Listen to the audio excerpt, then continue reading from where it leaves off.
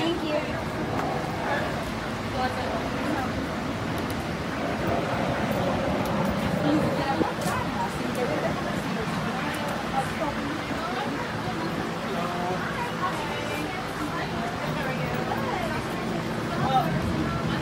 So he didn't give us two. We're locals. He didn't give us tickets though.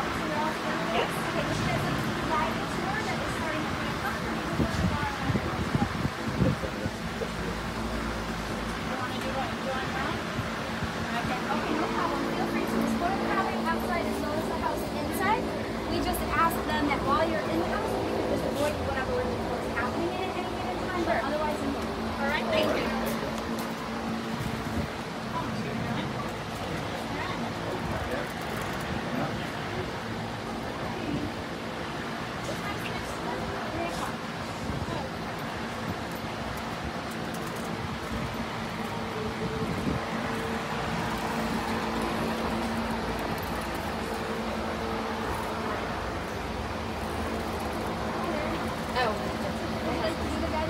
Yeah.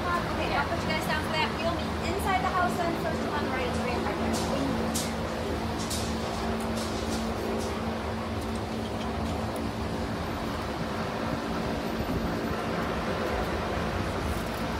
He looks very regal, doesn't he?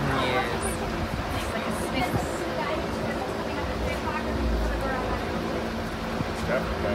like